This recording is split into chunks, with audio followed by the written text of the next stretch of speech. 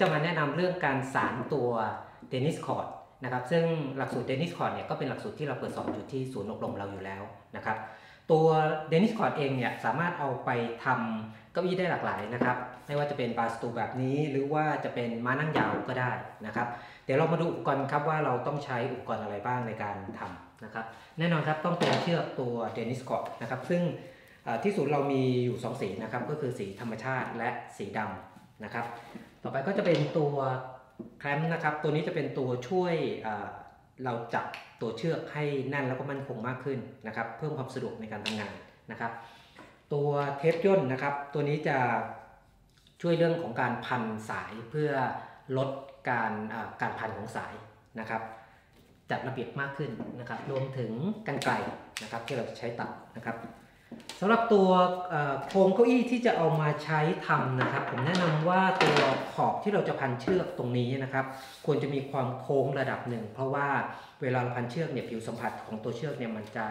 จับกับตัวไม้ได้ดีกว่าไม้ที่เป็นเหล็กนะครับ เดี๋ยวเราไปดูกันครับว่ามีขั้นตอนในการทำยังไงบ้าง ติดตามชมครับ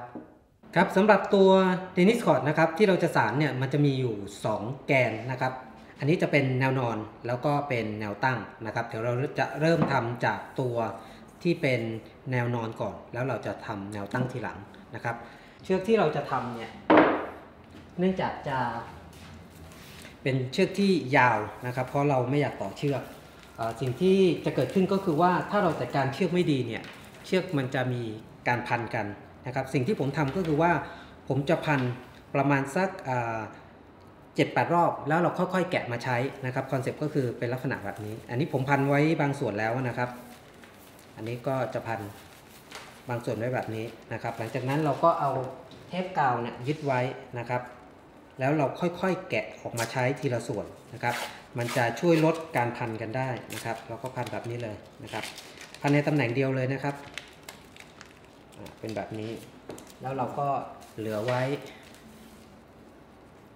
ประมาณนี้นะครับ ไว้ที่ใช้ แล้วหลังจากนั้นปุ๊บเราก็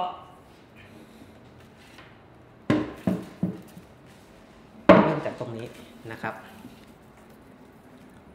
ตัวปลายสายตัวปลายสายเนี่ยผมจะ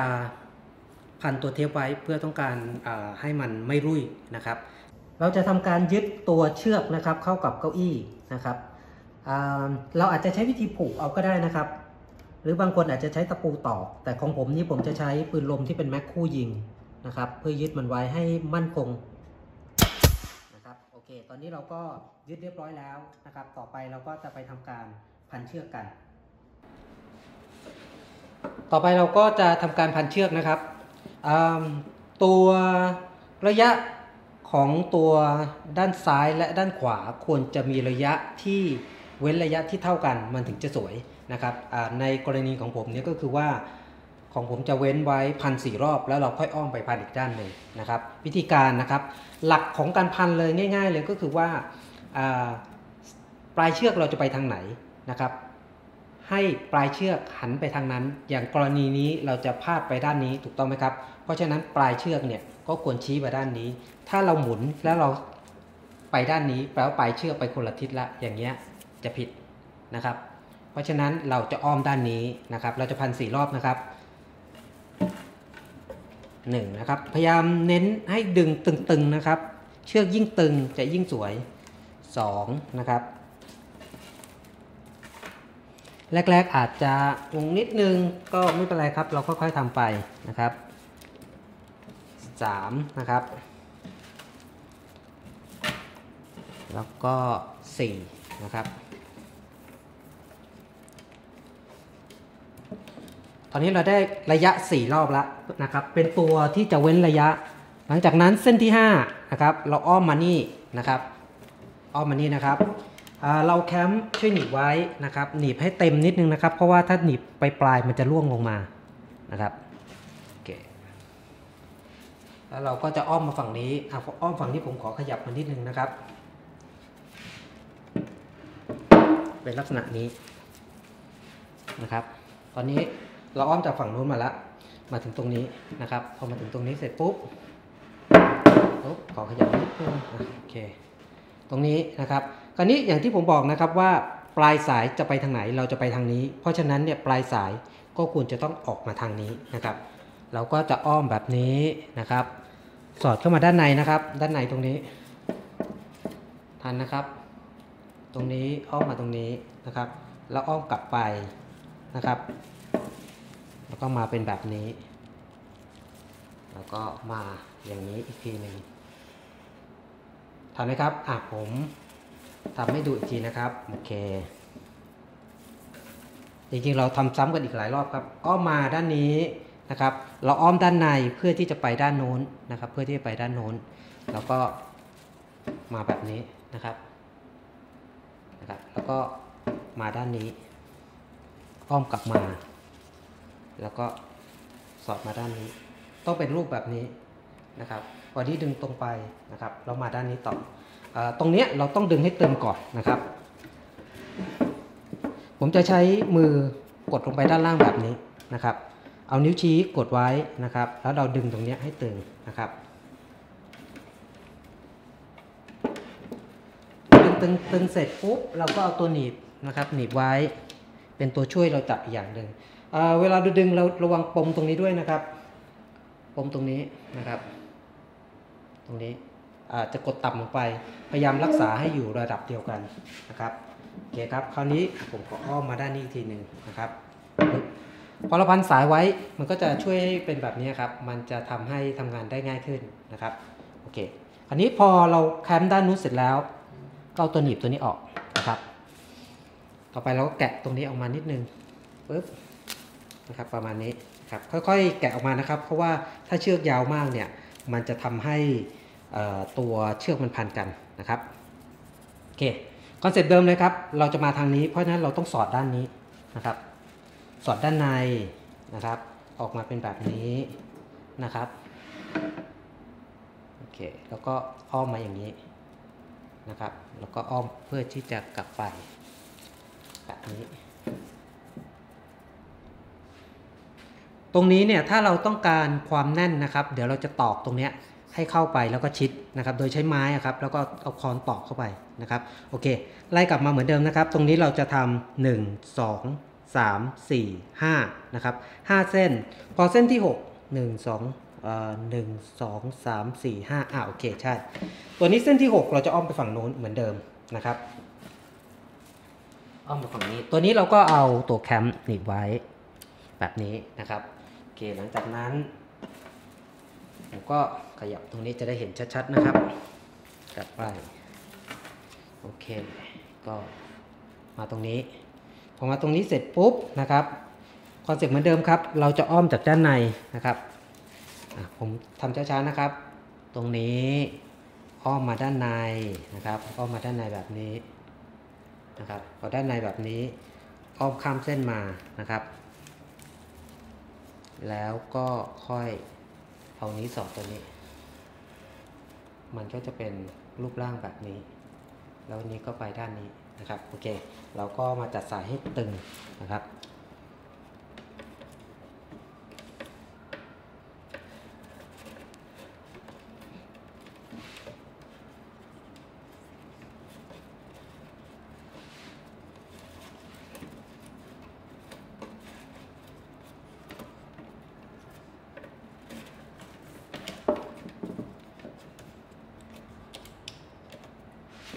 อะโอเคพอได้เสร็จปุ๊บใช่ไหมครับ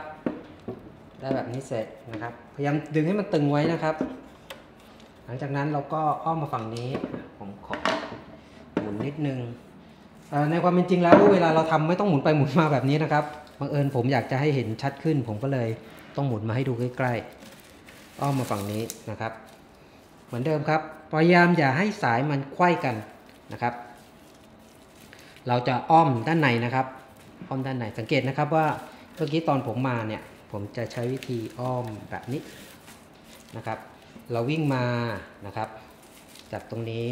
นะครับปุ๊บมาถึง แล้วก็อ้อมด้านในตรงนี้นะครับ ออกมาอย่างนี้นะครับ แล้วก็พันทาบลงมานะครับทาบลงมาแล้วก็จัดสายนิดนึง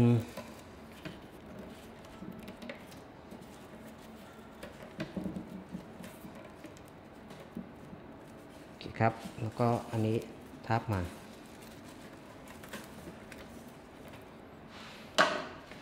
ก็ผูกแบบนี้ทับไว้ก่อนนะครับอะเดี๋ยวผมจะให้ดูข้างในนะครับว่าโครงสร้างมันเป็นประมาณไหนเเห็นไหมไม่น่าจะเห็นโอเคเราก็จะทำซ้ำแบบนี้ครับไปเรื่อยๆนะครับอพอถึงตรงนี้นะครับ เราก็จะพันอีก 5 รอบนะครับ 1ก็แกะเทปแกะแกะเทปออกไปเรื่อยๆนะครับ ค่อยๆแกะออกไปมันจะได้ไม่พันกันนะครับสามโอเคแล้วก็มาไล่สายให้มันตึงครับหลังจากได้รอบแล้วก็หนึ่งสองสามนะครับ สี่ห้าพอ5เสร็จปุ๊บเส้นที่6นะครับเราจะอ้อมมาฝั่งนี้นะครับที่เราทำเว้นระยะตรงนี้เราจะทำเป็น 5 ช่องนะครับ แต่ว่าตรงริมตรงนี้ขึ้นอยู่กับความยาวของเก้าอี้ของแต่ละคนนะครับว่ายาวเท่าไหร่ตรงเส้นตรงนี้เนี่ยเราควรจะทำตรงเส้นตรงนี้ครับ แนวขวางตรงนี้ควรจะเป็นเลขคู่ เพราะว่าตอนขึ้นต้นและตอนจบ นะครับ ตัวลายมันจะเหมือนกันนะครับโอเคอันนี้พอเราอ้อมฝั่งนี้เสร็จปุ๊บเราก็จะหนีบนะครับแล้วเราก็เหมือนเดิมครับอ้อมด้านในตรงนี้นะครับอะผมขอขยับไปด้านนู้นแล้วกันนะจะได้เห็นชัดๆนะครับอะผมทำอีกรอบอารอบนี้เดี๋ยวผมจะทำเป็นรอบสุดท้ายนะครับ แล้วเดี๋ยวผมทำเสร็จ ตอนจบผมจะเอามาให้ดูอีกทีหนึ่งเพราะว่ามันจะใช้เวลาพอสมควรเดี๋ยวจะยาวเกินไปนะครับโอเคทาบมาแบบนี้นะครับปุ๊บนะครับ ผมจะสอดด้านในนะครับ สอดด้านในแบบนี้นะครับ พอสอดด้านในแบบนี้เสร็จปุ๊บผมจะอ้อมด้านนี้ แล้วออกมาด้านนี้นะครับโอเคออกมาแบบนี้นะครับแล้วนี้เราก็จะอ้อมไปนะครับ เป็นลักษณะนี้นะครับโอเคดึงให้ตึงนะครับ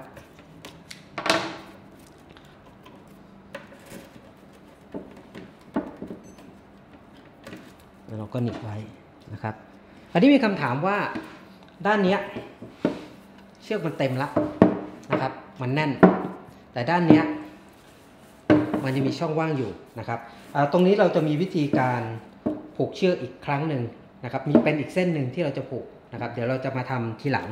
นะครับ ตอนนี้เราจะไล่ทำตรงนี้ไปให้ครบ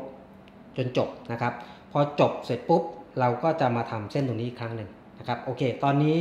เเดี๋ยวจบแล้วเดี๋ยวผมจะเอาตรงสอนแนะนำวิธีการทำตรงนี้อีกทีแล้วกันนะครับ ครับอันนี้เราจะทำเป็นแถวสุดท้ายนะครับ เป็นเลขคู่อย่างที่ผมบอกไว้นะครับ เพราะว่า ตัวเริ่มกับตัวจบเนี่ยมันจะเป็นแนวเดียวกันแล้วมันจะสวยนะครับโอเค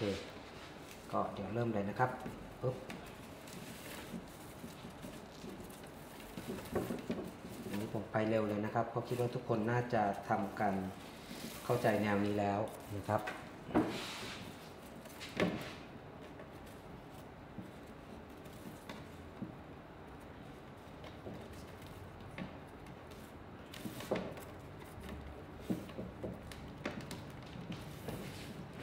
โอเคครับ เอาตรงนี้หนีบไว้นิดนึง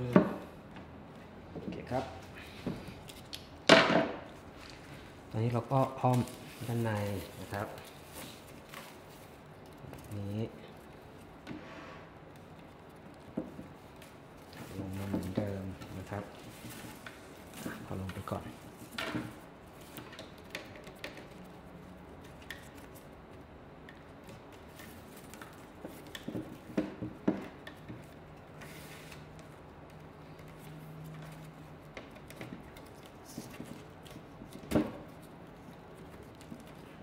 ตัวนี้พยายามตอกให้แน่นนะครับ เพราะว่ายิ่งแน่นจะยิ่งสวยนะครับ แล้วเราก็พันตรงนี้ ตรงนี้เราจะพันสี่รอบนะครับ ขึ้นอยู่กับว่าตอนเริ่มเราพันช่องว่างนะครับ ตรงนี้ไว้กี่ช่องนะครับ อย่างตัวนี้ผมจะพันไว้ 4 นะครับ เพราะฉะนั้นตอนจบผมก็จะจบที่ 4 นะครับ ซึ่งมันจะทำให้ระยะห่างเนี่ยมันเท่ากันมันก็จะดูสวยหน่อย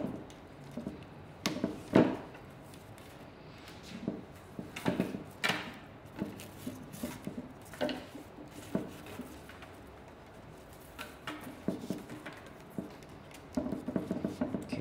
ก็พอดีเป๊ะฮะประมาณนี้นะครับ เราจะมาดูวิธีการซ่อนสายกันนะครับ จริง ๆ แล้วเราสามารถที่จะผูกตรงนี้เลยก็ได้นะครับ เพราะมันอยู่ข้างล่างอยู่แล้วไม่เห็น แต่ว่าผมจะใช้ปืนลมที่เป็นแม็กคู่ยิงนะครับ แล้วเราจะซ่อนปลายสายกัน เดี๋ยวเราไปดูการซ่อนปลายสายกันนะครับ ปลายสายที่โผล่มาแบบนี้นะครับ ผมจะตัดให้สั้นประมาณหนึ่งนะครับ หลังจากนั้นเนี่ยผมก็จะเอาสอดไว้ข้างในนะครับ ซึ่งเราอาจจะใช้ ครีมนะครับ หรือว่าจะใช้ตัวไขควงนะครับ ช่วยดันเข้าไปนะครับโอเคพอเราได้แล้วเราก็จะดึงให้ตึงนะครับ ใช้ครีมนะครับ ดึงให้ตึง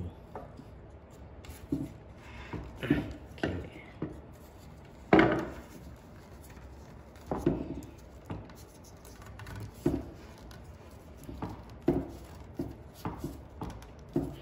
โอเ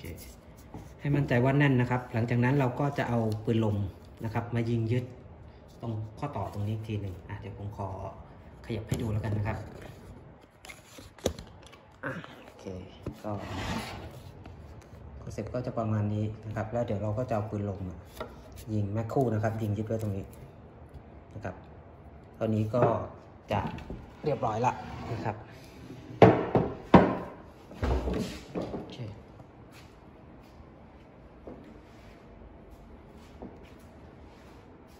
ก็จะออกมาเป็นลักษณะนี้นะครับ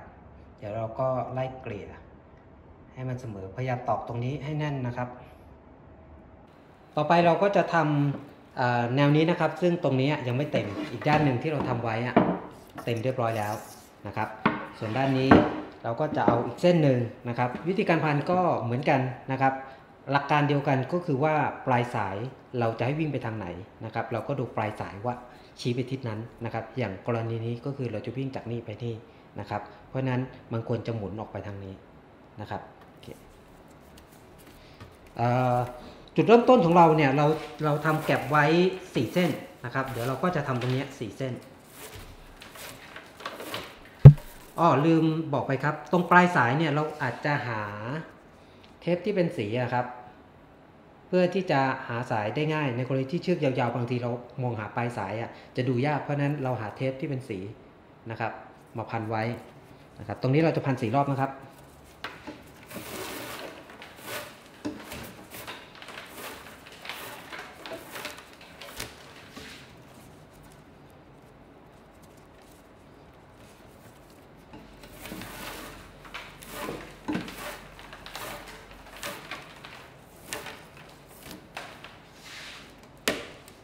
เคครับพอถึงเส้นที่4นะครับ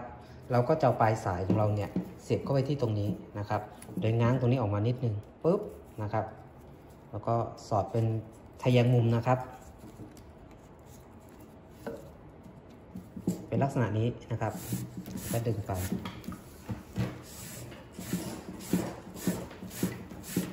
อาจจะยาวนิดนึงนะครับ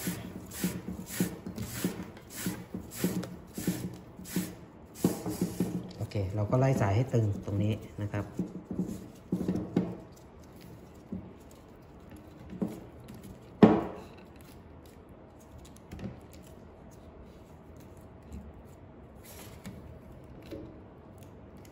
เราก็จะได้ตรงนี้ 1 2 3 4 นะครับ แล้วก็เหมือนเดิมตรงนี้เราจะพัน5นะครับ ตรงนี้เราก็พัน5เหมือนปกติเหมือนที่เราพันด้านนู้นนะครับ5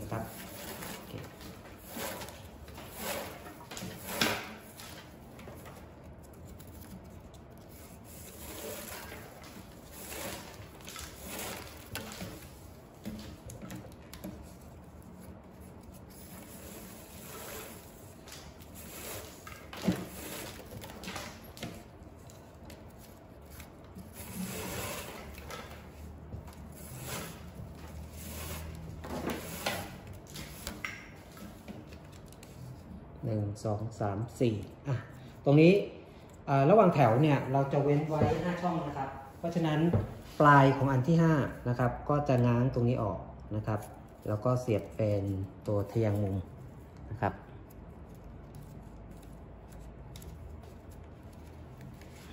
เป็นลักษณะนี้นะครับ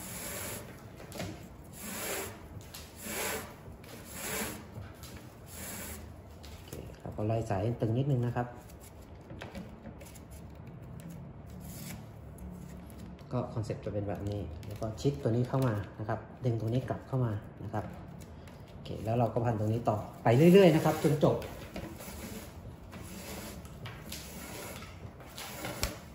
ทำแบบนี้ซ้ำๆไปนะครับ จนจบถึงปลายนะครับ ประมาณนี้ไล่ไปนะครับพันห้ารอบทะแยงมุมเข้าไปตรงนี้นะครับโอเค เดี๋ยวมาดูตอนจบกันอีกทีเลยเลยแล้วกันนะครับ ตอนนี้เราก็ทำครบทุกทั้งหมดแล้วนะครับ เหลือตอนช่วงท้ายที่มีการเก็บสายนะครับ ก็เหมือนเดิมครับ เราก็จะพันแค่สี่รอบนะครับ แล้วก็เราจะซ่อนปลายสาย ตรงปลายเนี่ยถ้าเราเผื่อสายไว้เยอะ ๆ ก็ตัดให้สั้นนิดนึงนะครับ เวลาเราเก็บสายจะได้ง่ายขึ้นนะครับสี่เราพยายามจัดสายนิดนึงนะครับ ตรงนี้มันอาจจะแน่นไปนิดนึงเบียดไป ก็อาจจะใช้ไม้นะครับตอกโอเคเราก็จะทำการเก็บปลายสายกันนะครับ ก็ผมจะเอาตัวเส้นสุดท้ายเนี่ยปลายสายเนี่ยรอบใต้นะครับ ที่เราพันไว้แล้ว ก็ทำให้มันหลวมขึ้นมานิดนึงก่อนนะครับ อาจจะใช้ไขควงหรือว่า ตัวอะไรล่ะครีมนะครับช่วยหนีบไว้ก็ได้นะครับ